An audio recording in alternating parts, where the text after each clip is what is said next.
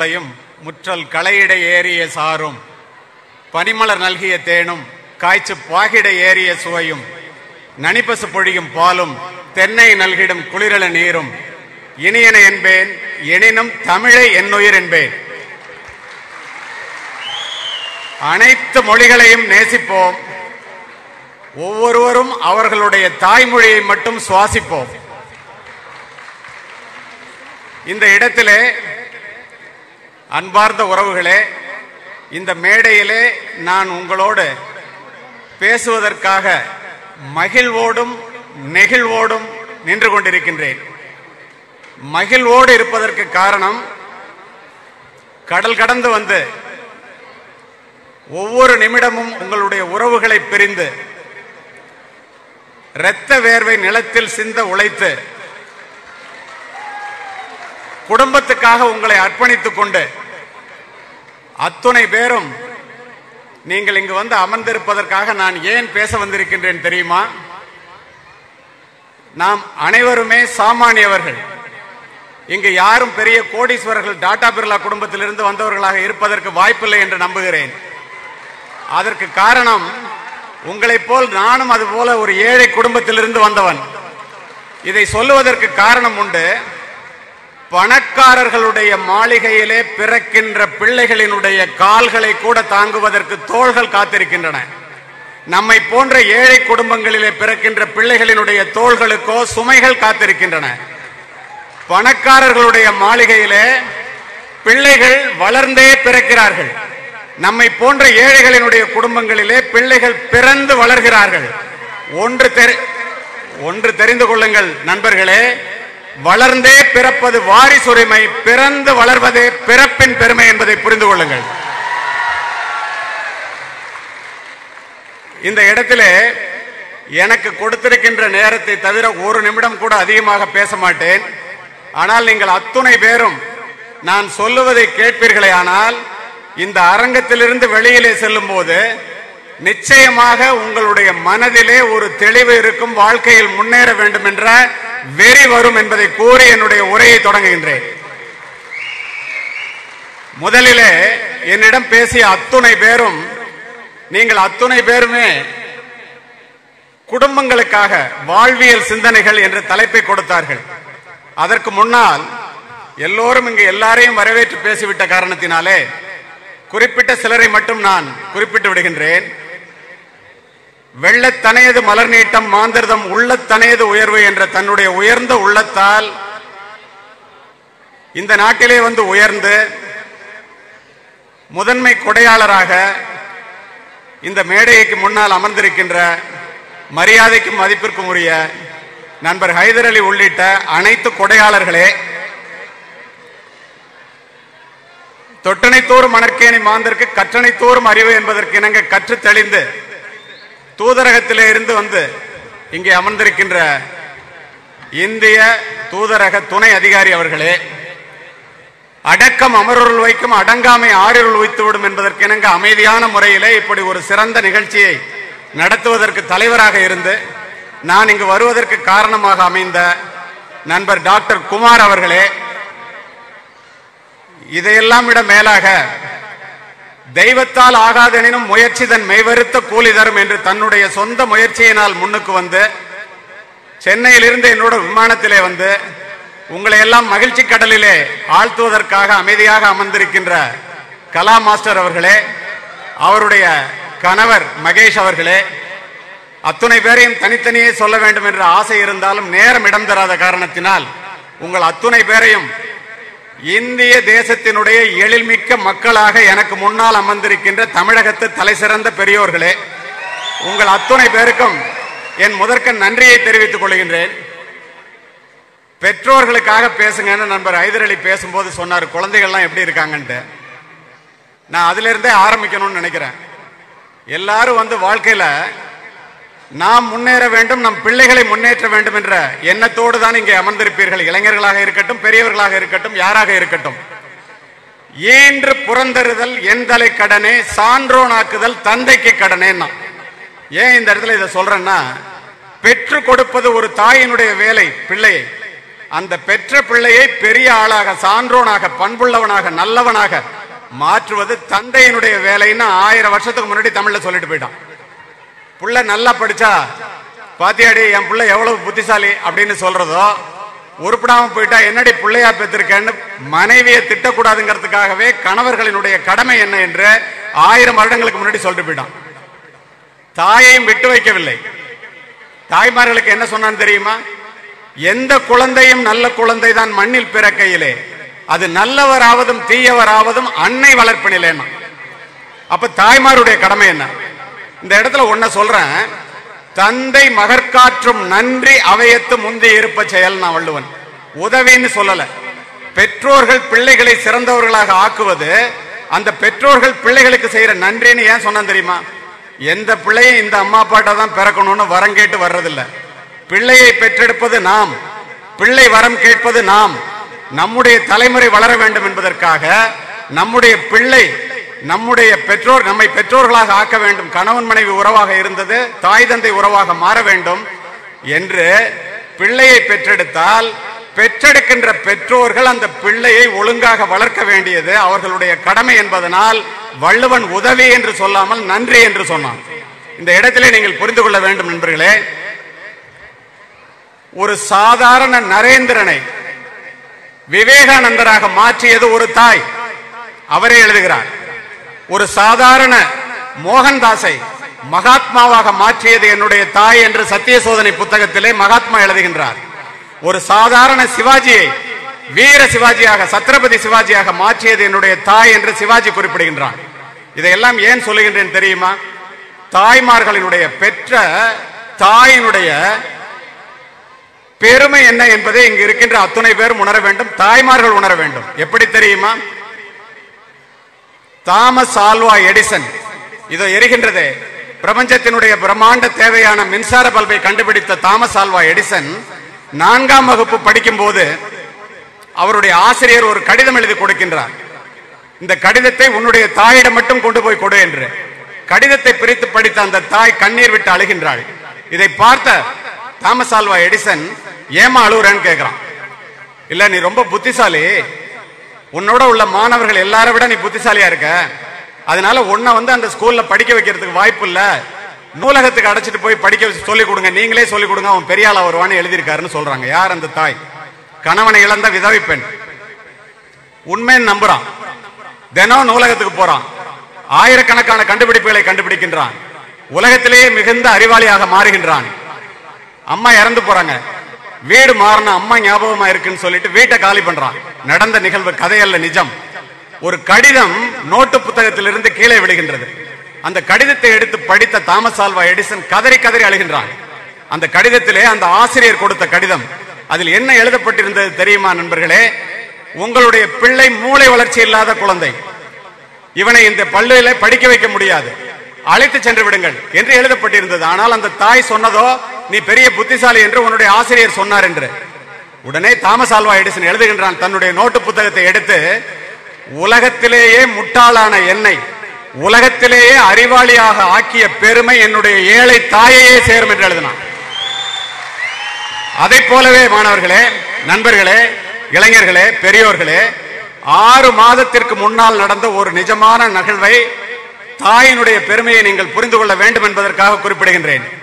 ஆறாவது படிக்கிற பனிரெண்டு வயது குழந்தையை இதயத்திலே கோளாறு என்று அழைத்துக் கொண்டு மருத்துவமனைக்கு செல்கின்றார்கள் அந்த டாக்டர் இந்தியாவில் உள்ள பெரிய மருத்துவமனையில சீஃப் டாக்டர் இதய அறுவை சிகிச்சை நிபுணர் ஒரு நாளைக்கு பத்து இதயங்களை அறுப்பவர்.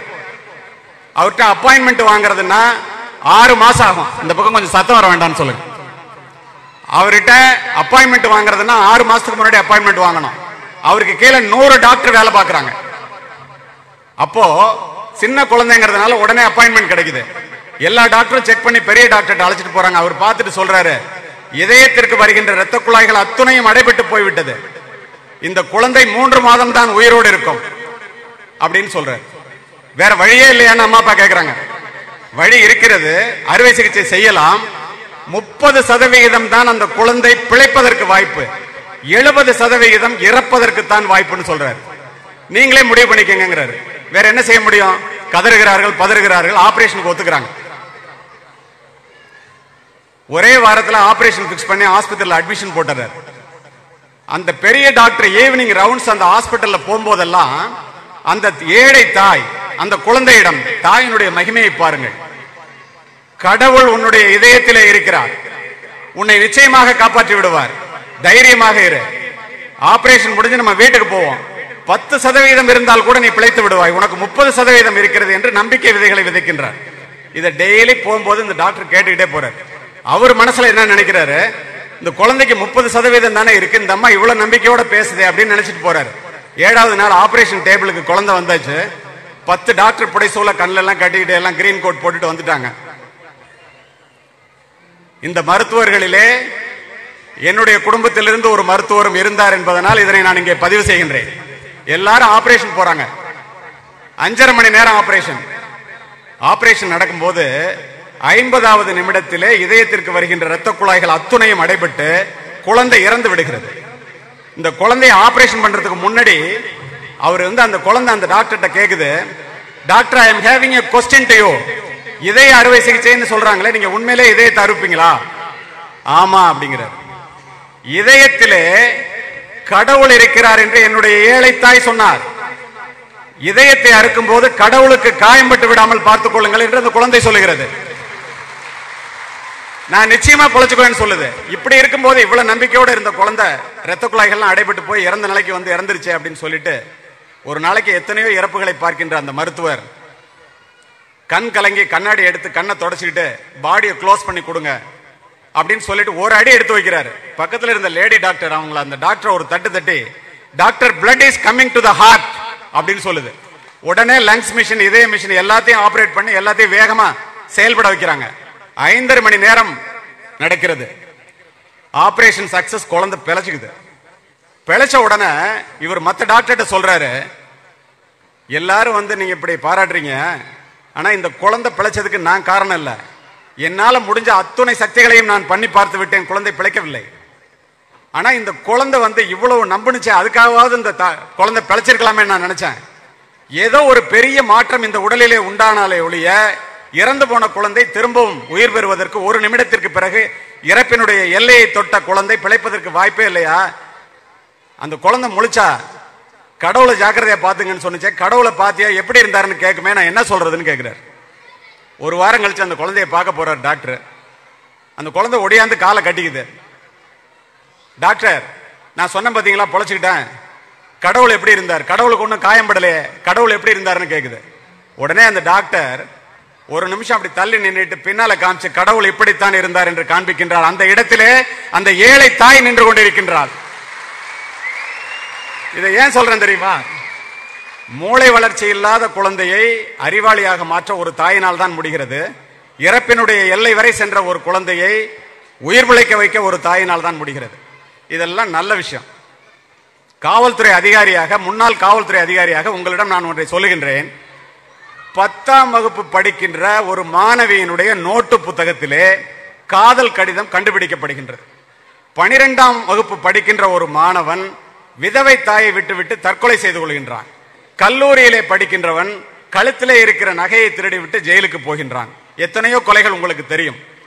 இத்துணை ஆயிரம் மைல்கள் தாண்டி கூட தவறான பாதையிலே போகின்ற இளைஞர்கள் எல்லா இடத்திலும் இருக்கத்தான் செய்கின்றார்கள். இதெல்லாம் ஏன் நடக்குது? அப்படின்னு ஒரு பெரிய ஸ்டடி. என்ன தெரிஞ்சது தெரியுமா? தெரிந்தது என்ன தெரியுமா நண்பர்களே? ஒவ்வொரு இடத்திலுமே குழந்தைகள் அத்துணை பேரும் பெரியவர்கள் பெற்றோர்கள் நிறைய பேர் இருக்கின்றீர்கள். பெற்றோர்களிடம் இருந்து குழந்தைகள் சென்று அணையும். கேள்வி மேல் கேள்வியாக கேட்கும். தன்னுடைய செயலுக்கு அங்கீகாரம் கிடைக்கிறதா என்று பார்க்கும். தன்னிடம் பெற்றோர்கள் நேரம் செலவு செய்கிறார்களா என்று பார்க்கும். பெற்றோர்களிடம் அந்த வாய்ப்பு கிடைக்காத குழந்தைகள் நட்பு வட்டாரத்தை நோக்கி செல்லும். இதே போல பாதிக்கப்பட்ட குழந்தைகள் அங்கே இருக்கின்ற காரணத்தினால் புகைப்பிடிப்பது மது அருந்துவது பெண்களிடம் தவறாக நடப்பது கொலை செய்வது திருடுவது அத்துணையையும் நட்பு வட்டாரத்திலிருந்தே கற்றுக்கொள்கிறார்கள். ஆனால் நம்மை அறியாமலேயே இந்த பிள்ளைகளை நட்பு வட்டாரத்திற்கு தள்ளுவது யார்? குடும்பம் தான் பிள்ளைகளினுடைய முதல் வகுப்பறை. பெற்றோர்கள் தான் பிள்ளைகளினுடைய முதல் ஆசிரியர்கள். Parents are the first teachers and teachers are the second parents பெற்றோர்கள் மரத்தினுடைய வேர்களை போன்றவர்கள். பிள்ளைகள் அதில் பூத்துக் குலுங்குகின்ற பூக்களை போன்றவர்கள். வேர்களின் பலத்தை பொறுத்தே பூக்களினுடைய வசீகரம் அமையும். வேர்கள் பட்டு போனால் பூக்கள் கொட்டி போகும் என்பதில் இருவேறு கருத்துக்கு இடமே இல்லை. பிள்ளைகள் அத்துணை பேரும் நல்ல பிள்ளைகள். அதை நன்றாக வளர்ப்பதும் தவறாக வழி செலுத்துவதும் நம்மை அறியாமலேயே நாம் காரணமாக ஆகிவிடுகின்றோம். இது நடக்கக்கூடாது என்றால் என்ன செய்ய வேண்டும் தெரியுமா? பெரும் அவற்றுள் யாம் அறிவதில்லை அறிவார்ந்த மக்கட்பேறு அல்ல பிற. வள்ளுவன் சொல்றான் உன்கிட்ட இருக்கிற சொத்துலேயே மிகப்பெரிய சொத்து உன்னுடைய பிள்ளை தாண்டாங்கிறான் இது தெரியாம வேற சொத்தை தேடி நீ அலையிறியே? அப்படின்னு சொல்றான். குழல் இணைந்து யாழ் இணைந்து என்பர் மக்கள் மழலை சொல் கேளாதவருங்கிறான். உலகத்திலேயே பெரிய நல்ல விஷயம் என்னன்னா குழந்தைங்களோட விளையாடுறது தான் அதுங்களுடைய சொல்ல கேட்கறதாங்கிறான். மெய் தீண்டல் உடலுக்கு இன்பம் அவர்தம் சொல் கேட்டல் செவிக்கின்பம். இதெல்லாம் தெரியாம நம்ம என்ன பண்ணிக்கிட்டு இருக்கோம்? அப்ப என்ன செய்யணும்? பெற்றோர்கள் பிள்ளைகளுக்கு கொடுக்கக்கூடிய மிகப்பெரிய சொத்து முன்னாள் காவல்துறை அதிகாரியாக நான் உங்களுக்கு சொல்ல நினைப்பது அந்த பெற்றோர்கள் அந்த பிள்ளைகளிடம் செலவு செய்கின்ற நேரம் என்பதை மனதிலே பதிய வைத்துக் கொள்ளுங்கள். பிள்ளைகளிடம் நேரம் செலவு செய்யாத பெற்றோர்கள் எவ்வளவுதான் பிள்ளைகளுக்கு சொத்து சேர்த்து வைத்தாலும் அது விழலுக்கு இறைத்த நீராக வீணாகத்தான் போகின்றது. இதில் இன்னொரு முக்கியமான விஷயம் என்னவென்றால் நண்பர்களே பிள்ளைகள் கெட்டு போய்விட்டார்கள் என்பதை தெரிந்து கொள்ளுகிற கடைசி நபர் பெற்றோர்களாகத்தான் இருக்கின்றார்கள். வாழ்க்கைக்கு பொருள் தேவைதான். பொருள் வேறு வாழ்க்கை வேறு. பொருள் இல்லாருக்கு இவ்வுலகம் இல்லை அருள் இல்லாருக்கு அவ்வுலகம் இல்லை நான் வள்ளுவன். ஆனா எது வரைக்கும்?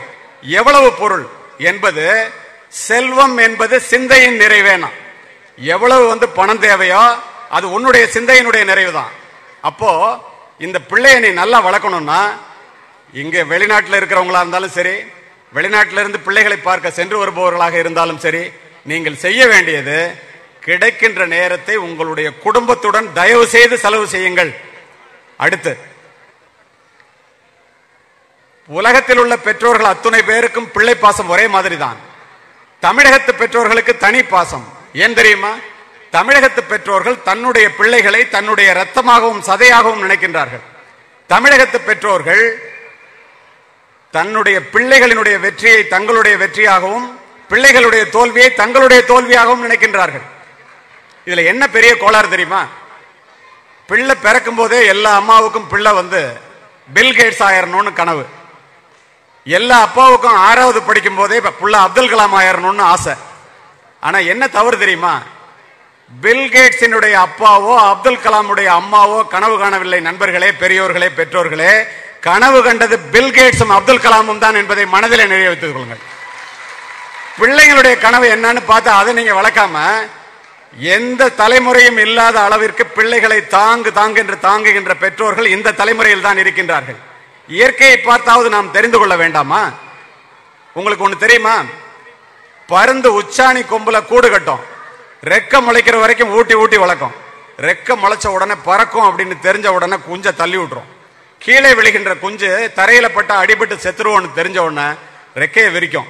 தன்னுடைய தாய் தள்ளிவிட்டு விட்டதே என்று நினைக்கின்ற அந்த குஞ்சு பறக்க ஆரம்பித்த பிறகுதான் அதற்கு தெரியும். நம்ம தாயை மாதிரி பறக்கிறதுக்கு தான் நம்ம தாய் நம்மளை தள்ளி விட்டுருக்குன்னு புரியும். ஒரு தடவை மலைப்பயணம் போயிருக்கும் போது குரங்குகளுக்கு வந்து தேனி போட்டுட்டு இருந்தாங்க எல்லாரும். அங்க இருக்கிற ஃபாரஸ்ட் ஆபீசர் வந்து அதெல்லாம் திரு- அடிச்சு விரட்டிட்டு இருந்தார். நான் போலீஸ் ஆபீசரா போன உடனே அவர் என்ன பார்த்தோன்னு அங்கேருந்து வந்தாரு. ஏன் விரட்டுறீங்க? என்னன்னு கேட்டேன். சார் இந்த குரங்குகள் மரத்துக்கு மரம் தாண்டி நல்ல பழத்தை சத்தான ஆகாரமாக சாப்பிட்டுட்டு இருந்துச்சு. இவன் என்னைக்காவது விடுமுறைக்கு வர்றவன் அதுக்கு முறுக்கையும் ரொட்டியையும் போட்டு அதை பிச்சை எடுக்க விட்டுட்டான் சார். அதுக்கப்புறம் அது வந்து மரம் தாண்டதே விட்டுருச்சு. எல்லாம் நோஞ்ச நகை செத்து போச்சு. அப்படின்னா அப்போ பிள்ளைகளை சொந்த காலிலே நிற்க விடுவது யாருடைய பொறுப்பு என்பதை நீங்கள் மனதிலே பதிய வைத்துக் கொள்ள வேண்டும். அடுத்து பிள்ளைகளுக்கு ஆசைக்கு வாழாமல் தேவைக்கு வாழ கற்றுக் கொடுங்கள். எவ்வளவு பணம் இருந்தாலும் சரி. ஆசைக்கு வாழாமல் தேவைக்கு வாழ கற்றுக் கொடுங்கள் பிள்ளைகளுக்காக அதிக சொத்து சேர்த்து வைத்து விட்டு போகின்ற பெற்றோர்களை விட பிள்ளைகளுக்கு சிக்கனமாக வாழ்வை கற்றுக் கொடுத்து விட்டு போகின்ற பெற்றோர்கள் மேன்மையானவர்கள் என்பதை மனதிலே வைத்துக் கொள்ளுங்கள். பெற்றோர்கள் பிள்ளைகளிடம் வெற்றி பெறுவதில் மட்டும்தான் மகிழ்ச்சி என்று சொல்லாமல் மகிழ்ச்சியாக இருப்பதுதான் வெற்றி என்று சொல்லித்தாருங்கள் அதுதான் வெற்றி. பெற்றுக்கொள்வதில் மட்டும்தான் மகிழ்ச்சி என்று சொல்லாமல் விட்டு கொடுப்பதிலும் மகிழ்ச்சி இருக்கிறது என்று சொல்லித்தாருங்கள் விட்டு கொடுப்பவர்கள் கெட்டு போனதில்லை கெட்டு போனவர்கள் விட்டு கொடுத்ததில்லை. அவமானங்கள் இல்லாமல் வெகுமானங்கள் இல்லை என்பதை பிள்ளை பிராயத்திலிருந்து சொல்லித்தாருங்கள் ஏன் தெரியுமா? நம்மை அவமதித்தவர்களை நாமும் அவமதிக்க நினைத்தால் அது அகங்காரம். நம்மை அவமதிப்ப யார் நம்மை அவமதித்தார்களோ அவர்களும் நம்முடைய வீடு தேடி வந்து நம்மை வாழ்த்தும்படியாக நம்முடைய திறமையை வளர்த்து கொண்டால் அதுதான் அங்கீகாரம். நம்மை வாழ விடாதவர் வந்து நம்ம வாசலில் வணங்கிட செய்து விடும்னா அப்படி பிள்ளைங்களுக்கு சொல்லித்தாங்க. எதற்கெடுத்தாலும் பிள்ளைகளிடம் பேசும்போது நல்ல வார்த்தைகளை பேச கற்றுக்கொள்ளுங்கள். வார்த்தைகளால் வாழ்க்கை இழந்தவர்கள் வானத்து நட்சத்திரங்களைப் போல எண்ணிலடங்காதவர்கள் பிள்ளைகளுக்கு முன்னால் கெட்ட வார்த்தைகள் பேசாதீர்கள். இனிய உளவாக இன்னாத கூறல் கனியிருப்ப காய்க வந்தற்றுன்னா பிள்ளைகளுக்கு முன்னால் கோபப்படாதீர்கள் பெற்றோர்கள் இருவரும். ஏன் அவ்வாறு சொல்லுகின்றேன் தெரியுமா? தன்னைத்தான் காக்கின் சினம் காக்க. காவாக்கால் தன்னையே கொல்லும் சினம்னா. ஏன் கோவம்னா உளவியல் ரீதியாக பார்த்தால் கோபம் என்பது இயலாமையினுடைய வெளிப்பாடே. கோபத்திலே கொட்டுகிற மலையை சுட்டு விடுகிறேன் பார் என்று ஒருவன் கொல்லிக்கட்டையை எடுத்து மலையிலே நீட்டினால் கொல்லிக்கட்டை தான் அணையுமே ஒழிய மலை நிற்காது. இதை புரிந்து கொள்ள வேண்டியது பெற்றோர்கள். அதை போலவே ஒரு பிள்ளையை எக்காரணம் கொண்டும் இன்னொரு பிள்ளையோடு ஒப்பீடு செய்யாதீர்கள். ஏன் தெரியுமா? எந்த பிள்ளையாவது அம்மா அப்பாட்ட வந்து அந்த அம்மா அப்பா மாதிரி நீங்க இருக்கீங்களான்னு உங்களை எப்பயாவது கேட்டிருக்கா? ஒரு ரோஜாவை ஒரு மல்லிகையோடு அல்ல ஒரு ரோஜாவை ஒரு ரோஜாவோடு கூட ஒப்பிடாதீர்கள். ஒவ்வொரு ரோஜாவுக்கும் ஒரு சுயம் உண்டு. தூக்கணாங்குருவி கூடு கட்டுகிறது சிலந்தி வலை பின்னுகிறது கரையான் புற்று வைக்கிறது எல்லாமே மகத்தான செயல்தான். ஒன்றை மற்றொன்றால் செய்ய முடியுமா? நிச்சயமாக முடியாது. இதை புரிந்து கொள்ள வேண்டியது பெற்றோர்களே. போல செய்தல் தான் பிள்ளைகளுடைய மூல குணம் நீங்க சொல்றத புள்ள செய்யாதுங்க. நீங்க செய்யறத புள்ள செய்யும். வீட்டில் படுத்துட்டு பக்கத்து வீட்டு மாமா வந்து கேட்டா இல்லைன்னு சொல்லுன்னு சொன்னா அது சொல்லும். சினிமாவுக்கு போயிட்டு வந்து ஸ்பெஷல் கிளாஸ் போயிட்டு வந்தேன்னு சொல்லுவோம் உங்ககிட்ட. குடிக்கின்ற பெற்றோர்கள் பிள்ளைகளை குடிக்காதே என்று சொல்லுவதற்கு என்ன தார்மீக உரிமை இருக்கிறது என்பதை பெற்றோர்கள் சொல்லுங்கள் இருபத்தி நாலு மணி நேரமும் மெகா சீரியல் பார்த்து கொண்டே இருக்கின்ற பெற்றோர்கள் தாய்மார்கள் பிள்ளைகளை பறிச்ச நேரத்தில் கூட நீங்க சினிமா பார்க்காதீங்க. சாதாரணமா அல்லது டிவியே பார்க்காதீங்கன்னு சொல்றதுக்கு என்ன உரிமை இருக்கு? நாம் வாழ்ந்து காண்பித்தால் பிள்ளைகள் நம்மை பார்த்து நிச்சயமாக நம்மை விட நல்லவர்களாக வருவார்கள். இதில் இருவேறு கருத்துக்கு இடமே இல்லை. இதை புரிந்து கொள்ள வேண்டியது பெற்றோர்களே. அடுத்து தாய். எல்லாரும் இங்கே சொன்னாங்க. சார் நாங்கள் கேட்டிருக்கோம். ஆனால் எல்லாரும் தாயை பிரிஞ்சு இங்கே இருக்கிறோம். நீங்கள் அதை பேசணும்னு சொல்லி சொன்னாங்க. இந்த இடத்துல ஒன்றை நான் பதிவு செய்கின்றேன். தாயிலிருந்து தான் தலைமுறை தொடங்குகிறது. ஒவ்வொரு தாயும் ஒரு வரலாறு. வரலாற்று மாற்றத்தை உண்டாக்கக்கூடிய சக்தி படைத்தவள் தாய் மட்டுமே. உலகத்திலேயே உன்னதமான இடம் ஒன்று உண்டென்றால் அது உன்னுடைய தாயினுடைய கருவறை தான் உலகத்திலேயே உன்னதமான ஜீவன் ஒன்று உண்டென்றால் அது உன்னை பெற்றெடுத்த தாயே என்பதை மனதிலே பதிய வைத்துக்கொள் அதனால்தான் மாதா வயிறறிய வாழா ஒரு நாளும் என்கிறார் வாரியார். மாதாவை ஒரு நாளும் மறக்க வேண்டாம் என்கிறது உலக நீதி அன்னையும் பிதாவும் முன்னறி தெய்வம் என்கிறது கொன்றை வேந்தன் என்னுடைய தாயினுடைய காலடியிலே தான் சொர்க்கம் இருக்கிறது என்கிறார் நபிகள் நாயகம். உன்னுடைய தாயையும் உன்னுடைய தந்தையையும் கனம் பண்ணுவாயாக என்கிறது பைபிள். என்னுடைய நல்ல குணங்கள் எல்லாவற்றுக்கும் காரணம் என்னை பெற்றெடுத்த தாயே என்கிறான் ஆபிரகாம் லிங்கன். யார் இல்லை என்றால் இந்த உலகத்தில் நீ பிரவேசித்திருக்க முடியாதோ? யாரை இழந்து விட்டால் நீ திரும்ப பெற முடியாதோ? அவளுடைய பெயர்தான் தாய் என்கிறார் விவேகானந்தர். இப்படிப்பட்ட தாயை நாம் எப்படி போற்றி பாதுகாக்க வேண்டும்? நாம் என்ன செய்கின்றோம்? தாயிற் சிறந்த கோவிலும் இல்லை தந்தை சொல் மிக்க மந்திரம் இல்லை ஆயிரம் உறவில் பெருமைகள் இல்லை அன்னை தந்தையே அன்பின் எல்லைன்னா. எவ்வளவு அழகா சொல்லிட்டு போயிட்டான் பாருங்க. சித்திர சோலைகளாக இங்கு வந்து அமர்ந்திருக்கின்றீர்களே உங்களை பெற்றெடுப்பதற்கு உங்களுடைய தாய் எத்துணை முறை ரத்தம் சொரிந்தார் என்று உங்களுக்கெல்லாம் தெரியுமா? நாம் சிந்தித்து பார்த்திருப்போமா? நீங்கள் சூடிடும் மணிகள் அவர்கள் வேர்வையின் துளிகள். தாய் அசல் தெய்வம் அதன் நகல் என்பே. நாம் தெய்வத்தை நேரில் பார்த்ததில்லையே. அப்படி என்றால் தாயினுடைய பெருமை என்னவாக இருக்க முடியும்? தாயை போற்றி வீழ்ந்தவனும் இல்லை தாயை தூற்றி வாழ்ந்தவனும் இல்லை முதுகலம்பொடிய பாடுபட்ட தந்தை முழு வயிறு காணாமல் நம்மை வளர்க்கின்ற தாய் இவர்களுடைய கண்ணிலே கண்ணீர் வருவதற்கு இங்கு இந்த அரங்கத்தில் இருக்கின்ற பிள்ளைகள் யாரும் ஒருபோதும் தயவு செய்து காரணமாக்கி விடாதீர்கள். ஏன் தெரியுமா? உலகத்திலேயே துயரமான கண்ணீர் தாயினுடைய கண்ணீர் தான் கண்ணை விளக்காக்கி கையை தொட்டிலாக்கி ரத்தத்தை பாலாக்கி நம்மை வளர்ப்பவள் தான் நம்முடைய தாய். பாலூட்டி உண்டாக்கி வளர்த்த தாயை உமையவள் என்று அறியீரோ உணர்ச்சி கட்டீர்மாம் பாரதி. ஓலை குடிசையிலே ஒழுகும் மழைநீரை குழந்தை மேல் படாமல் காப்பதற்காக ஒவ்வொரு தாயும் தன்னுடைய உடலை கூடாரமாக்கினாள். இங்கு அமர்ந்திருக்கின்ற அத்துணை பேரும் நினைந்திருப்பீர்கள் மழைநீரால் அல்ல நண்பர்களே தாயினுடைய கண்ணீரால் உங்களை அனுப்பிவிட்டு இந்த நாட்டிற்கு எத்துணை தாய் அங்கே கண்ணீர் சொரிந்து கொண்டிருக்கின்றார்கள் என்பதை தயவு செய்து சிந்தித்து பாருங்கள். இங்கிருந்து நீங்கள் தொலைபேசியிலே உங்களுடைய தாயை தொடர்பு கொள்கின்றீர்களே. உங்களுக்கு தெரியுமா? உலகத்தில் உள்ள மெத்த படித்த மருத்துவர்கள் அத்துணை பேரும் உங்களுடைய தாயிடம் தோற்று போவார்கள். ஹலோன்னு சொல்ற ஒரு வார்த்தையில என்னடா உடம்பு சரியில்லையான்னு ஆளை பார்க்காம கேட்கறது தாயால மட்டும்தான் முடியும். உங்களுக்கு தெரியுமா? வெளிநாட்டுல இருந்து நீங்க போகும்போது உங்களுடைய கைப்பையை பார்ப்பவள் உங்களுடைய பிள்ளை. அப்பா என்ன வாங்கிட்டு வந்திருக்காங்கன்னு? உங்களுடைய சட்டை பையை பார்ப்பவள் உங்களுடைய மனைவி. என்ன பணம் சம்பாரிச்சிட்டு வந்திருக்காரு? குடும்பம் நடத்தணுமேன்னு. உங்களுடைய இறைப்பையை பார்ப்பவள் உன்னுடைய தாய் மட்டுமே. வீட்டிலே சோறு சுவையாக இருந்தால் அப்பா சாப்பிடுவார். சோறு நன்றாக இருந்தால் அண்ணன் சாப்பிடுவான். சோறு மிச்சம் இருந்தால் மட்டுமே உன்னை பெற்றெடுத்த தாய் சாப்பிடுவார். வெளியிலே போய்விட்டு வீட்டிற்கு வருகின்ற பிள்ளை மலையிலே நனைந்து வந்தால் ஏண்டா ஓரமா இருந்துட்டு வரக்கூடாதான்னு அப்பா கேட்பாரு கொடை எடுத்துட்டு போயிருக்கலாம்ல உனக்கு அறிவே இல்லையான்னு அண்ணன் கேட்பான் தாய் என்ன செய்வாள் தெரியுமா நண்பர்களே? தன்னுடைய பிள்ளையனுடைய நனைந்த தலையை முந்தானையால் துவட்டி இந்த பாலாய் போன மலை பிள்ளை வெளியிலே போகும்போது பெய்ய வேண்டும் என்று மலையை திட்டுவாள் அவள்தான் தாய். நான் நான் என்று கூறிக்கொள்ளுகின்றீர்களே நான் என்பது யார்?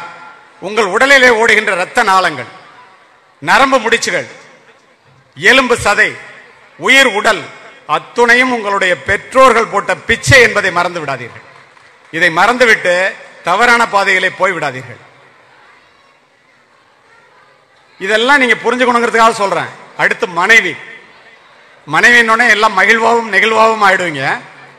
இதுல என்னன்னா இல்லத்தரசி இல்லால் மனையால் வாழ்க்கை துணை இப்படி பல பெயர்கள் வைத்து தமிழிலே மட்டும்தான் தமிழகத்திலே மட்டும்தான் மனைவிக்கு இத்தனை பேர் இருக்கு.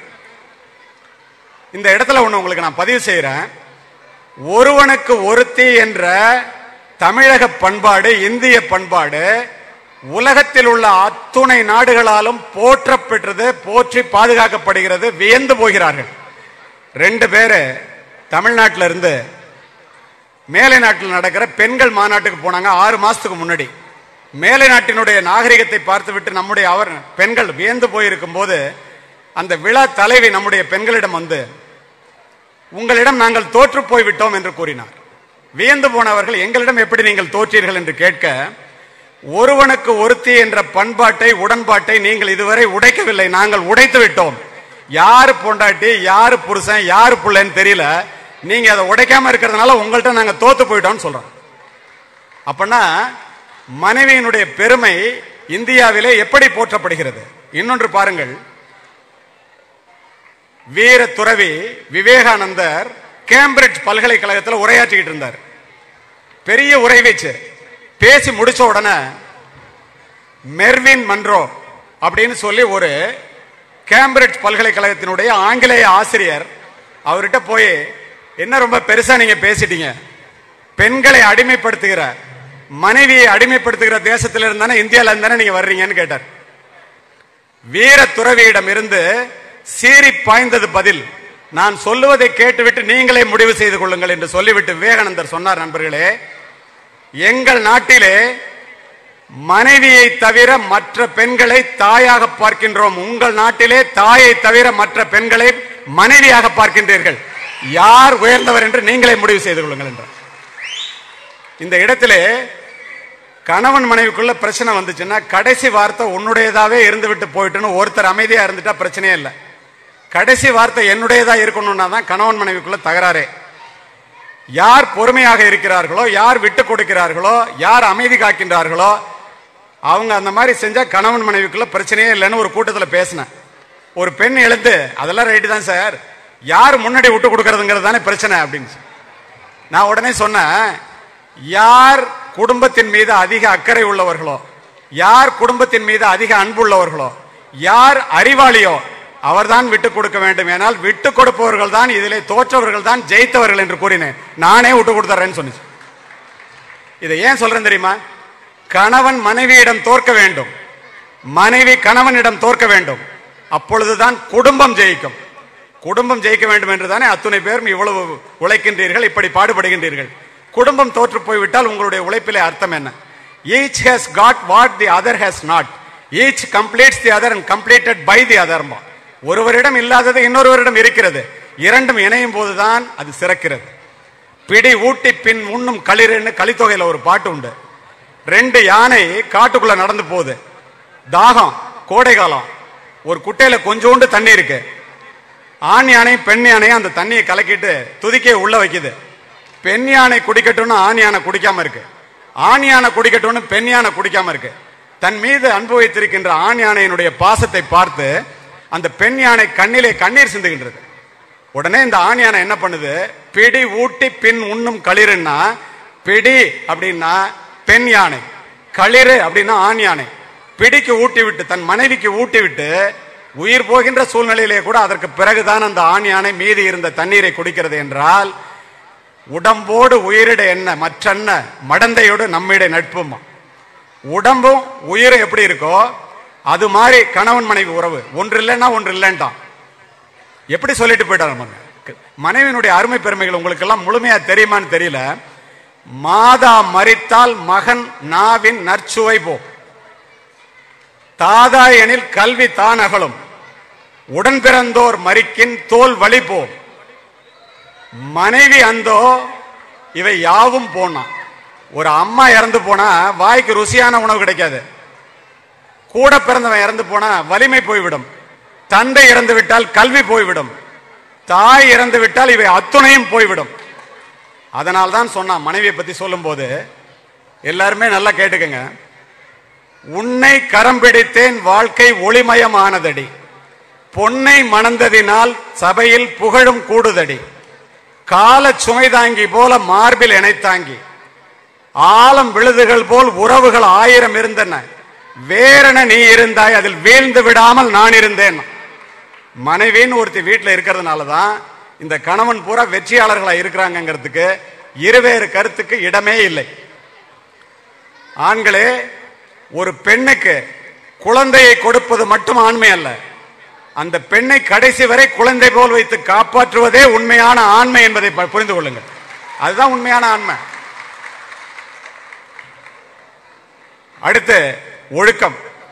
இங்க வரும்போது ஐதர் அலி சார் கூட சொன்னாரு. சார் இந்த இளைய சமுதாயம் ரொம்ப கெடுது சார். தயவு செய்து ஏதாவது சொல்லுங்கன்னாரு. ஒழுக்கம் ஒழுக்கம் சொல்றோமே ஒழுக்கம்னா என்ன? ஒழுக்கத்தை உருவாக்கி வளர்ப்பதுதான் கல்வியினுடைய தலையாய குறிக்கோள் நண்பர்களே. கல்வியினுடைய பயன் அறிவு அறிவினுடைய பயன் பண்பாடு பண்பாட்டினுடைய பயன் ஒழுக்கம். ஒழுக்கத்தை தராத கல்வியும் விளைச்சலை தராத வயலும் வீணானது. நம்ம எல்லாம் எப்படி இருக்கோம்? மனதை வேலைக்காரனாகவும் மூளையை தலைவனாகவும் வைக்க கற்றுக்கொள்ளுங்கள். இள வயதிலே புயல் போல வருகின்ற உணர்ச்சிகளை யார் ஒருவர் அடக்கி ஆளுகின்றாரோ அவர்தான் அமைதியையும் மகிழ்ச்சியையும் ஆள முடியும். இதுல இன்னொன்று உங்களுக்கு தெரியுமா? ஒவ்வொருவரும் ஒழுக்கமாக இருக்க வேண்டும் என்று தான் நினைக்கின்றோம். ஆனால் முடியவில்லையே ஏன்? காலையிலே எழுந்து ஒரு அதிகாலை பொழுதிலே நெஞ்சிலே கை வைத்து நம்மிடம் இருக்கின்ற கெட்ட பழக்கங்கள் என்ன? இதை விட்டொழிக்க வேண்டியதனுடைய அவசியம் என்ன? என்பதை நீங்கள் நினைத்து பார்த்து மற்றவர்களுக்கு தெரிந்தால் மானம் போய்விடுமே மரியாதை போய்விடுமே என்று எத்தனையோ கெட்ட பழக்கங்களுடன் நாம் வாழ்ந்து கொண்டிருக்கின்றோம். அதை ஒவ்வொருவரும் நீங்களாக விட்டொழித்தால் இதை சொல்லுவதற்கு நானோ உங்கள் ஆசிரியரோ பெற்றோர்களோ ஒரு ஞானியோ தேவையில்லை. நீங்களே விட்டொழித்தீர்களே ஆனால் உலகத்திலே ஒரு அயோக்கியன் குறைந்தான் என்பது சர்வனிச்சயம் you be the change you வாண்ட்டுமாங்க இந்த உலகம் எப்படி நல்லதாக இருக்க வேண்டும் என்று நீ நினைக்கிறாயோ அதுவாக நீ முதலிலே மாறு என்பார் காந்தியடிகள். அதுதான் ஒழுக்கம். சமீபத்தில் அமெரிக்காவில் பல்கலைக்கழகத்தில் இதை போல ஒரு பல்கலைக்கழக அரங்கத்திலே ஒபாமா உரையாற்றி கொண்டிருந்தார். அமெரிக்க பல்கலைக்கழகத்து மாணவர்கள் மட்டும் அங்கே இருந்தாங்க. அப்போ அந்த பல்கலைக்கழக மாணவர்களை பார்த்து கேட்டார் ஒபாமா ஏண்டா உங்களுக்கெல்லாம் நூறு வருஷமா ஒருத்தனுக்கு ஒரு கம்ப்யூட்டர் இருக்கு. இந்தியாவில் நூறு பேர் கூட ஒரு கம்ப்யூட்டர் இல்லை. ஆனால் ஒரு மைக்ரோசாஃப்டோட சிஇஓ சத்யநாதல்லா ஒரு கூகுளோட சிஇஓ சுந்தர் பிச்சை உங்களுக்கெல்லாம் அறிவே இல்லையா? எல்லாம் இந்தியாக்காரன் தானடா தலைவராக இருக்கான். எப்பறான்னு கேட்டார். இதை போல முன்னாடி உட்கார்ந்த ஒரு இந்தியாவிலிருந்து தமிழகத்திலிருந்து வந்த ஒரு பெண் ஆசிரியை மேடைக்கு சென்று அந்த அரங்கத்தில் நான் இருந்தேன். மேடைக்கு போய் என்ன சொன்னாங்க தெரியுமா? ஒபாமா அவர்களே அனுமதி கொடுத்தால் அதற்குரிய பதிலை சொல்லுகின்றேன் என்றார். அனுமதி வழங்கப்பட்டது. மைக்கு முன்னாடி போய் ஒரே ஒரு வார்த்தை சொன்னாங்க அமெரிக்காவிலே பெற்றோர்களும் சொன்னார் அவர் ஐதர் அலி சார் சொன்னார் அது மாதிரி பெற்றோர்களும் ஆசிரியர்களும் பிள்ளைகளுக்கு கல்வியை மட்டும் சொல்லித் தருகிறீர்கள். ஆனால் எங்கள் தமிழகத்திலே பெற்றோர்களும் ஆசிரியர்களும் பிள்ளைகளுக்கு கல்வியோடு சேர்த்து ஒழுக்கத்தையும் சொல்லித் தருகிறார்கள். அது வரைக்கும் உங்களால எங்களை ஜெயிக்க முடியாதுன்னு இதை ஏன் சொல்றேன் தெரியுமா? உண்மையா நம்ம இப்ப பார்த்தோன்னா கை தட்டுறீங்களே? நம்ம சமுதாயம் அப்படியா இருக்கு? அவங்க நம்மளை பார்த்து வியந்து போகும்போது நம்ம எப்போ போயிட்டு இருக்கோம்? மேலை நாட்டு நாகரிகத்தை பார்த்து போய் கொண்டிருக்கிறோமே ஏன்? நாம் என்ன செய்ய வேண்டும்? உங்களுக்கு தெரியுமா? முதல்ல ஒரு செல்போன் வந்துச்சு. எல்லாரும் பேசலாம். அப்புறம் மெசேஜ் கொடுக்கலாம். டூ ஜி வந்துச்சு த்ரீ ஜி வந்துச்சு ஃபோர் ஜி வரைக்கும் வந்துருச்சு. கூகுள் வந்துச்சு இன்டர்நெட் வந்துச்சு. Two G three G four Jinnah உங்களுக்குலாம் தெரியணும்னு நினைக்கிறேன். டூ ஜி அப்படின்னு சொன்னால் பைப்பு திறந்தா தண்ணி வர்ற மாதிரி. த்ரீ ஜின்னா வயலில் மோட்டர் செட்டில் பம்ப் செட்டில் தண்ணி வர்ற மாதிரி. ஃபோர் ஜின்னா நயகரா நீர்வீழ்ச்சி மாதிரி. நல்லதும் கெட்டும் கொட்டதும் கெட்டதும் கொட்டும். இட்ஸ் ஏ இன்டர்நெட் ஜங்கிள் இது எது நல்லது எது கெட்டதுன்னு பார்க்கறது ஓ வேலை. அதை பார்க்க தெரியுமா? இந்தியாவில் குறிப்பாக அவர் சொன்னார்ல எண்பது சதவிகிதம் பேர் செல்போன் யூஸ் பண்ணுறாங்க அதில் ஐம்பது சதவிகிதம் பேர் செமி லிட்ரேட்ஸ் லிட்ரேட்ஸுக்கே செல்போனை எப்படி யூஸ் பண்ணுறதுன்னு தெரியல. செமி லிட்ரேட்ஸுக்கு எப்படி தெரியும்? இப்போ நீங்கள் எல்லாரும் செல்ஃபோன் ஆண்ட்ராய்டு ஃபோன் வச்சிருக்கீங்க. ஆண்ட்ராய்டு ஃபோன் ஆண்ட்ராய்டு ஃபோன் சொல்லணும். ஏன் தெரியுமா? பத்தொம்போது சதவிகிதம் பேர் தான் யூட்டிலிட்டி ஆப்ஸ் என்று சொல்லக்கூடிய இபி பில் கட்டுறதுலேருந்து ஃபாரினுக்கு போகிற வரைக்கும் டிக்கெட் போடுறதுலேருந்து பல நன்மைகள் பல விஷயம். ஒரு ஆப்ரேஷன் பண்றதை அமெரிக்காவில் டாக்டர்கிட்ட கேட்டுட்டு பார்த்துக்கிட்டு பண்ண முடியும். அதை பத்தொம்போது சதவீதம் பேர் தான் உபயோகிக்கிறாங்க. எண்பத்தோரு சதவிகிதம் பேர் தவறானவற்றையே இந்த தொலைபேசியிலே கைபேசியிலே பார்க்கின்றார்கள். இதுக்கு என்ன செய்யணும்? அப்படியெல்லாம் நம்ம கெட்டு போறதுக்கு நம்ம என்ன பண்ணணும்? பல நாடுகள் ஜப்பான் சைனா அரேபிய நாடுகள் போய் இறங்குனீங்கன்னா ஒரு நாட்டிலையும் ஒரு ஆப்ஸும் வேலை நடக்காது வேலை செய்யாது. நம்ம நம்ம இருக்கிற நாடா இருக்கட்டும் நம்ம இந்தியாவா இருக்கட்டும் எல்லா ஆப்ஸும் வேலை செய்யும். சுப்ரீம் கோர்ட்டே பார்த்துட்டு இளைய சமுதாயம் கெட்டு போது இதை தடை பண்ணுங்கன்னா. பார்லிமெண்ட்ல இருக்கிறவங்க எல்லாம் இது சுதந்திர நாடு அதை தடை பண்ண முடியாது இதை இயக்கிறவன் வேற இடத்துல இருக்கான்ட்டான். அவனுக்கு மார்க்கெட் இந்தியா. இது நம்ம இவ்வளவு கஷ்டப்பட்டு நீங்க பிள்ளைங்களை வளர்க்கும் போது உங்க எல்லாருக்கும் எல்லாருமே இப்ப நீங்க எல்லாரும் ஆண்ட்ராய்டு ஆண்ட்ராய்டுங்கிறீங்க ஆண்ட்ராய்டுனா என்னன்னு எத்தனை பேருக்கு தெரியும்? ஆண்ட்ராய்டுங்கிறது ஒரு யூட்டிலிட்டி ஆப்ஸ் ஆப்பிள் போன்ல வந்து ஐஓஎஸ்ங்கிறது யூட்டிலிட்டி ஆப்ஸ் ஆப்பிள் போன்ல யாரும் சீரியா ஹேக்கர் ஹேக்கர்ஸ் உள்ள போய் இன்க்ளூட் பண்ணி செய்ய முடியாது. ஆண்ட்ராய்டு போன்ல யார் வேணாலும் செய்யலாம். சமீபத்தில் ஒரு உதாரணத்துக்கு சொல்றேன். அமெரிக்காவில் அறுபத்தி ஏழு கோடி ரூபாய்க்கு ஒரு காரு. அது மாதிரி பெரிய ஆயிரம் காரை உபயோகப்படுத்திட்டு எல்லாத்தையும் மேனுஃபேக்சர் பண்ணி முடிச்சுட்டு காரில் முன்னாடி போயிட்டு இருக்காம கார் கம்பெனி ஓனர் பின்னாடியிலேருந்து ஒருத்தன் ஃபோன் பண்ணி அந்த சிப்ஸ்ல இருந்து கம்ப்யூட்டர் சிப்ஸ்ல இருந்து அது கண்ட்ரோல் இவன் எடுத்துட்டான். பின்னாடி வர்ற கார்காரன். உன் கார் கண்ட்ரோல் என்னிட்ட கையிலங்கிறான். அவன் நம்பாம ஸ்டேரிங்கை திருப்புறான் பிரேக் அழுத்துறான் வண்டி நிற்கல அதையே பண்ண முடியுதுன்னா நீங்க செல்போன்ல கொடுக்கிற மெசேஜ் முன்னாள் காவல்துறை அதிகாரியாக கூறுகின்றேன். செல்போன்ல கொடுக்கிற மெசேஜ் செல்போன்ல அனுப்புற படம் செல்போன்ல என்ன பண்ணீங்கன்னாலும் பார்க்கணும்னு நினைச்சா எப்ப வேணாலும் பார்க்கலாம். ஏன் தெரியுமா? நீங்க அனுப்புற ஒவ்வொரு மெசேஜும் நேராக உங்க நண்பருக்கு போகுது தோழிக்கு போகுதுன்னு நினைக்காதீங்க. செல்போன் டவருக்கு போய் தான் வரும். நீங்க ஒரு போன் ஆண்ட்ராய்டு போன் வாங்கிட்டீங்கன்னா இமெயில் ஐடி கேட்கும். இமெயில் ஐடி போட்டால் தான் அது ஒர்க் பண்ணும். அக்ரி டிஸ்அக்ரின்னு வரும். டிஸ்அக்ரியை தொட்டிங்கன்னா ஓப்பனே ஆகாது. அக்ரியை தொடுவீங்க உடனே தொடுவீங்க. என்னன்னு படிச்சிருக்கீங்களா யாராவது? அந்த அக்ரிமெண்ட்ல என்ன இருக்குன்னு யாராவது படிச்சிருக்கீங்களா? ஒருத்தர் படிச்சிருக்க மாட்டோம். அதுல என்ன தெரியுமா இருக்கும்? நீ அனுப்புற செல்போன்ல அனுப்புற மெசேஜ் அதுல அனுப்புற போட்டோ அதுல நீ என்ன பண்ணாலும் நான் பார்ப்பேன். என் மேல நீ லீகலா நடவடிக்கை எடுக்க முடியாதுன்னு கூகுள்காரன் கொடுத்துருப்பான். இதை யாருமே படிக்கிறது இல்லைங்கிறத உறுதிப்படுறதுக்காக கடைசியா ஒரு நாள் வந்து இங்கிலாந்துல இப்ப ரீசெண்டா எவனுமே படிக்கிறது இல்லை அப்படின்னு சொல்லி அந்த கூகுளோட ஓனர் சொல்கிறான் இல்லை கொஞ்சம் பேராவது படிப்பாங்கங்கிறான் அந்த சிஓ நீ வேணால் செக் பண்ணி பார்ப்போன்ட்டு உங்கள் குழந்தையில ஒரு குழந்தைய என்கிட்ட கொடுத்துறணும்னு கடைசியாக ஒரு லைன் ஆட் பண்ணுறான் ஒரு பய படிக்கல எல்லாரும் அக்ரின்ட்டான் அப்போ how dangerous game we are playing எத்தனை குழந்தைங்க வீட்டை விட்டு ஓடி போகுது எத்தனை குழந்தைங்க இறந்து போகுது அப்போ நம்ம பெற்றோர்களுடைய கடமை இதில் என்னவா இருக்கு? பார்த்தோன்னே உங்கள்கிட்ட ஃபேஸ்புக்கில் இருக்கிறீங்களா? வாட்ஸ்அப் நம்பர் தர்றீங்களா? அது இல்லைன்னா ஏதோ கை நாட்டு மாதிரி ஆகிப்போச்சு அப்போ நம்ம அதை என்ன செய்யணும்? பெற்றோர்கள் என்ன செய்யணும்? யார் நீங்க ஃபேஸ்புக் வச்சிருந்தாலும் ஃபேஸ்புக்கில் உங்களுடைய ஃபோன் நம்பர் உங்களுடைய இமெயில் ஐடி உங்களுடைய பாஸ்வேர்டு உங்களுடைய அட்ரஸ் உங்களுடைய படிக்கிற பள்ளிக்கூடம் உங்க ரிலேட்டிவ்ஸோட போட்டோ உங்களுடைய போட்டோ இதை தயவு செய்து போடாதீங்க. போட்டால் அதை வச்சு உங்களை பிளாக்மெயில் பண்ணுறதுக்கு எந்த நேரத்தில் வேணாலும் பிரச்சனை வரலாம். இதுல இருவேறு கருத்துக்கு இடமே இல்லை. ஃபேஸ்புக்கில் உங்களுக்கு வந்து ஒரு செல்போன் வச்சிருக்கீங்கன்னா அந்த போன்ல free apps free game free recharge இதெல்லாம் வந்தா தயவு செய்து டவுன்லோட் பண்ணாதீங்க ஃப்ரீயா கிடைக்குதுன்னு. There is no free lunch in the world அப்படி கொடுத்தா நீங்க ஏமாறுறீங்கன்னு அர்த்தம். அதுல ஒரு சாஃப்ட்வேர் வச்சிருப்பான். நீங்க டவுன்லோட் பண்ணோன்னே உங்க போனோட கண்ட்ரோல் அவன் கைக்கு போயிடும். எல்லாரும் செல்போன் வச்சிருக்கீங்க. எத்தனையோ பெரிய பிரச்சனைகள்ல தனக்கு சம்மந்தம் இல்லாம மாட்டிக்கிறான். அப்ப பெற்றோர்கள் பிள்ளைகளுக்கு என்ன சொல்லி தரணும்னா பெற்றோர்கள் ஃபேஸ்புக் வச்சிருக்கிற பிள்ளைங்கள்ட்ட நீங்க ஃப்ரெண்ட் ரிக்வஸ்ட் கொடுத்து நீங்களும் ஃப்ரெண்ட் ஆயிக்கங்க. அவன் என்ன செஞ்சாலும் உங்களுக்கும் தெரியும். எந்த ஆப்ஸை யாரு பார்க்கலாங்கிற அந்த கண்ட்ரோல் அதில் இருக்கு. அதுதான் வந்து உண்மை. இதை நீங்க முதல்ல எல்லாரும் தெரிஞ்சுக்கணும். பிள்ளைகளை நிஜ உலக ஆபத்திலிருந்து காப்பாற்றுவதை போல நிழல் உலக ஆபத்திலிருந்து காப்பாற்றுவதற்கு நீங்க எல்லாம் செஞ்சுதான் ஆகணும். நேர்ல பேசுறதுக்கு சங்கோச்சமா இருக்கிற எதையும் செல்போன்ல செய்யாதீங்க. கடைசியா உன்னை சொல்லி முடிச்சுக்கிறேன். நீ என்னவாக வேண்டும் என்று நினைக்கிறாயோ அதுவாகவே ஆகிவிடுவாய். எவ் உயிர் எப்படி எண்ணின அவ் உயிர்க்கு அப்படி அளித்தருள் அருட்பெரு ஜோதிங்கிறார் ராமலிங்க அடிகளார். ஒரு மனிதனை உயர்த்துவது அவனுடைய சிந்தனை தான்ங்கிறான் ரூசோ. நீ எதை கேட்கிறாயோ அதைத்தான் வாழ்வு உனக்கு தெரிகிறது தருகிறது.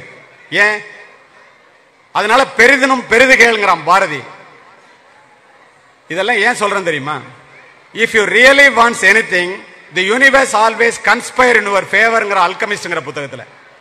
உனக்கு என்ன வேணும்னு நீ நினைக்கிறியோ அதை இந்த உலகம் கொடுத்துருவோம் அதுக்கு தேவையானது நம்பிக்கை. ஒரு பறவை கூட மரக்கிளையில உட்காரும் போது கிளை முறிந்து விடுமே என்று அஞ்சுவதில்லை. கிளை முறிஞ்சுன்னா பறவை பறந்துடும் முயற்சி. முயற்சி என்பது முடிந்தவரை செய்வதல்ல நண்பர்களே முடியும் வரை செய்வதே முயற்சி. நீங்கள் எடுத்துக்கொண்ட காரியத்தை முடிக்கும் வரை செய்வதே முயற்சி. உழைப்பு. ஓட்டப்பந்தய மைதானத்திலே ஒருவன் வெற்றி கோட்டை குறைந்த நேரத்திலே கடக்கிறான் என்றால் அவன் பயிற்சி மைதானத்திலே அதிக நேரத்தை செலவு செய்தவனாகத்தான் இருக்க முடியும். நேரம். எல்லாருக்கும் சொல்றேன் வாழ்க்கையில யாராவது ஜெயிக்கணும்னு நினைச்சீங்கன்னா நேரத்தை வீணாக்காதீங்க. வாழ்க்கை என்பதே நேரத்தால் ஆனதுதான். இது ஏன் சொல்றேன் தெரியுமா? மூன்று மணிக்கு எழுபவன் முனிவன் நான்கு மணிக்கு எழுபவன் ஞானி ஐந்து மணிக்கு எழுபவன் அறிஞன் ஆறு மணிக்கு எழுபவன் மனிதன் ஏழு மணிக்கு எழுபவர்கள் எருமை என்பேன் நீங்க எத்தனை மணிக்கு எந்திரிக்கிறீங்கன்னு எனக்கு தெரியாது. அது உங்களுடைய முடிவுக்கே விட்டுறேன். இப்போ நினைச்சபடி ஆகலான்னு சொன்னேன்ல கல்லூரியில் படிக்கும்போது எஸ்பி பங்களாவை பார்த்துக்கிட்டே கல்லூரிக்கு போனவன் நான். இவ்வளோ பெரிய பங்களாவா ஒரு எஸ்பிக்குன்னு தினம் போகும்போது சிவப்பு விளக்கு சுழல அதில் ஒரு அதிகாரி வருவார். தினம் பார்ப்பேன். ஒரு நாள் அவர் என்கிட்ட சொன்னார் ஏன்டா நீ காலேஜுக்கே போறது இல்லையானார் உங்களை மாதிரி ஆகணும்னா என்ன பண்ணணும்னு கேட்டேன். என்னுடைய நண்பனும் கூட நின்றுட்டு இருந்தான். கல்லூரி நேரம் போக மீதி நேரம்லாம் மைதானத்தில் செலவு பண்ணுன்னு சொன்னார். என்னுடைய நண்பனினுடைய நோக்கம் வேறு. என்னுடைய நோக்கம் காவல்துறை அதிகாரியாக வேண்டும் என்பது. நான் கல்லூரி நேரம் போக மைதானத்திலே இருந்தேன். ஆனால் அவன் வந்து நூலகத்திலே இருப்பான். மாணவர்களே சர்வீஸ் கமிஷன் எக்ஸாம் வந்துச்சு. நான் போய் பரீட்சை எழுதினேன். நான் பாஸ் பண்ணேன். என் நண்பனுக்கு கிடைக்கல. இதை எனக்காக சொல்லல. நண்பனுக்காக சொல்றேன்.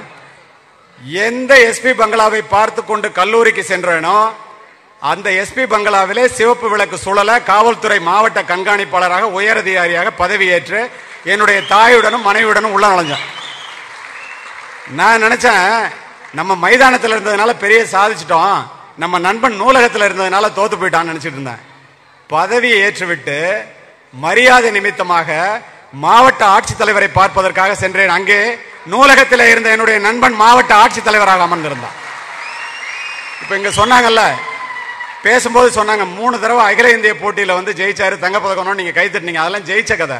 பெண்களுக்காக சொல்லி முடித்து விடுகின்றேன். நாலாவது முறையாக நான் தங்கப்பதக்கம் வாங்குவேன்னு தமிழக காவல்துறை என்னை தேர்ந்தெடுத்து அனுப்பியது. அவ்வளோ ஐபிஎஸ் ஆஃபீஸர்ஸும் வருவாங்க. யாரெல்லாம் திறமையோ ஒவ்வொருத்தருக்கும் ஒவ்வொரு ஈவெண்ட் இருக்கும்.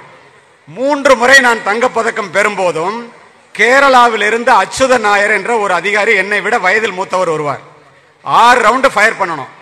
புல்லில் அடிச்சா அஞ்சு மார்க் இன்னரில் அடிச்சா மூணு மார்க் அவுட்டரில் அடிச்சா ஒரு மார்க் புல்லுனா உங்களுக்கு தெரியும். நூறு கஜ தூரத்தில் டார்கெட் இருக்கும் பிஸ்டல் ஷூட்டிங் ஒவ்வொரு தடவையும் அரை மார்க் ஒரு மார்க்கில் நான் ஜெயிச்சிருவேன். அந்த அச்சுதன் நாயர் செகண்ட் வருவார் எல்லாரும் அவுட் ஆயிடுவாங்க. முயற்சிக்கு முன்னால் வரும் தயக்கமும் வெற்றிக்கு பின்னால் வரும் மயக்கமும் ஒரு மனிதனுடைய முன்னேற்றத்தை கெடுத்துவிடும் என்பதற்கு எனக்கு சொல்லித் தருவதற்கு ஆள் இல்லை. ஜெயிக்கும் வரை குதிரை வேகத்தில் ஓட வேண்டும். ஜெயித்த பிறகு குதிரையை விட வேகமாக ஓட வேண்டும். அப்பொழுதுதான் நீங்கள் அந்த இடத்தை தக்க வைத்துக் கொள்ள முடியும். இது தெரியாது எனக்கு. நான் இந்த வெற்றி மமதையிலே வந்துட்டு இருந்தேன். நாலாவது தடவை போனேன். எல்லாரும் அவுட் ஆயிட்டான். நமக்கு தான் தங்க பதக்கங்கிற மமதையில போறேன். அச்சுதன் நாயர் எங்க கேட்டா அவர் ரிட்டையர்ட் ஆயிட்டாரு நாங்க. நமக்கு எதிர்ப்பே இல்லை அப்படின்னு நினைச்சிட்டு நம்ம தான் ஜெயிப்போம்னு போறேன். கேரளத்திலிருந்து வந்த ஒரு பெண் காவல்துறை அதிகாரி எல்லாரும் அவுட் ஆகி நிக்குது என்னோட போட்டி போடுறது. நாற்பது வருடங்களுக்கு முன்னால் துப்பாக்கி சுடுறது பெண்களுக்கு எவ்வளவு சிரமம் என்று உங்களுக்கு தெரியும். ஆறு ரவுண்டு கொடுத்து சுட சொல்றான். நான் சுடுறேன் அஞ்சு ரவுண்டு புல்லு ஒரு ரவுண்டு இன்னர் அந்த பொண்ணு ஒரே மூச்சில் சுடுது அதுவும் அஞ்சு ரவுண்டு புல்லு ஒரு ரவுண்டு இன்னர் வாழ்ற தேவாரம்ங்கிற அதிகாரி என்னை போய் டார்கெட்டை பாருனாரு டார்கெட்டை போய் பார்த்தேன். என்னுடைய துப்பாக்கி குண்டுகள் துளைத்ததை விட அந்த பெண்ணினுடைய துப்பாக்கி குண்டுகள் துளைத்தது நெருக்கமாக இருந்தது. அந்த பொண்ணை பயமுறுத்தணும்னு நினைச்சேன் நானும் நான் பயந்துட்டேன். ஜட்ஜு உடனே கேட்டாரு டாஸ் போட்டலாமான்னாரு நான் உடனே எஸ்ன்னேன் ஏன்னா தோத்தா டாஸ்ல தோத்தோன்னு சொல்லிக்கலான்ட்டு. அந்த பொண்ணு அங்கே வச்சு mister Kaliyamoorthy this is not a game of chance this is a game of skill சீட்டு குளிக்க போட்டு எடுக்கிறது இல்லடா திறமையின் அடிப்படையில் முடிவு பண்றது. உனக்கு தைரியம் இருந்தாவா திரும்ப சொல்லலாம்னு அவ்வளவு அதிகாரிகள் இருக்காங்க ஒத்துக்கிட்டாங்க. பத்து ரவுண்டு கொடுத்துட்டான். உலகத்தில் உள்ள தெய்வங்கள் எல்லாத்தையும் வேண்டிட்டு பயிற்சி முயற்சி எல்லாம் நம்பிக்கை வச்சு ஒரு நாளைக்கு இருபது ரவுண்டு சொல்றவன் நான். பத்து ரவுண்டை சுடுறேன் ஒன்பது ரவுண்டு புல்லு ஒரு ரவுண்டு இன்னர் அந்த பொண்ணு அங்கேருந்து வந்து சுட்டுச்சுங்க ஒரே மூச்சில் சுட்டுச்சு பத்துக்கு பத்தும் புல் நான் தோற்று போய்விட்டேன். இதுக்கே கை தட்டுறீங்களே கிளைமேக்ஸ் என்ன தெரியுமா? தோத்தோன்னு துப்பாக்கி தூக்கி கீழே போட்டேன். அந்த பொண்ணு வந்து தொடச்சு கொடுத்துட்டு பெண்கள் கவனிக்க வேண்டும். உங்களுடைய பெண் பிள்ளைகளை எப்படி நீங்கள் வளர்க்க வேண்டும் என்பதற்காக இதனை கூறுகின்றேன். அந்த துப்பாக்கி எடுத்து என் கையில் கொடுத்துட்டு எனக்கு சல்யூட் அடிச்சிச்சு. நான் திரும்ப சல்யூட் அடிச்சுட்டு சொன்னேன் நீ என்ன ஜெயிச்சிட்டியம்மா நான் தானே உனக்கு சல்யூட் அடிக்கணும். நீ எதுக்கு எனக்கு சல்யூட் அடிச்சேன்னு கேட்டேன். அது என்ன தெரியுமா சொன்னுச்சு? கலியமூர்த்தி அவர்களே என்னிடம் தோற்றதற்காக நீங்கள் துளி கூட வருத்தப்படக்கூடாது. ஏன் தெரியுமா? உங்களிடம் மூன்று முறை தங்கப் பதக்கத்தை பறிகொடுத்த அச்சுத நாயர் என்னுடைய தந்தை நான் அவளுடைய மகள் என்று இதுதான் பெண்களுடைய தைரியம். இந்த தமிழோசை அரங்கத்திலே நான் உங்களிடம் பேசியிருப்பது அத்துணையும் சொற்கள் அல்ல விதைகள். வளமான நிலத்திலே அது விழுந்தால் ஆல மரமாக வளரும் என்பதை நான் அறிவேன். விதைத்தவன் உறங்கினாலும் விதைகள் உறங்குவதில்லை. தேடி சோறு நிதந்தின்று பல சின்ன சிறு கதைகள் பேசி மனம் வாடி துன்பம் மிக உழன்று பிறர் வாட பல செயல்கள் செய்து நரை கூடி கிளப்பருவம் எய்தி கொடும் கூற்றுக்கு இறை என பின் மாயும் பல வேடிக்கை மனிதரைப் போல் நான் வீழ்வேன் என்று நினைத்தாயம்பம் பாரதி. பிறந்தோம் வளர்ந்தோம் சாப்பிட்டோம் கல்யாணம் பண்ணிட்டோம் பிள்ளைங்களை பெற்றோம் இறந்து போயிட்டோம். வயசாயிடுச்சு. இதுக்காக கொடுக்கப்பட்ட வாழ்க்கை அல்ல நண்பர்களே. அரிது அரிது மானிடராய் பிறத்தல் அரிது அதனினும் அரிது கூன் குருடு என்று செவிடு என்று பிறத்தல். நான் இதை ஏன் சொல்றேன்னா சாதித்து விட்டுத்தான் சாக வேண்டும். உங்கள் அத்துணை பேராலும் முடியும். நீங்கள் அத்துணை பேரும் சாதனையாளர்களே என்று கூறி அமைதி காத்த அத்துணை நல்ல உள்ளங்களுக்கும் நன்றி கூறி விடைபெறுகின்றேன். நன்றி வணக்கம்.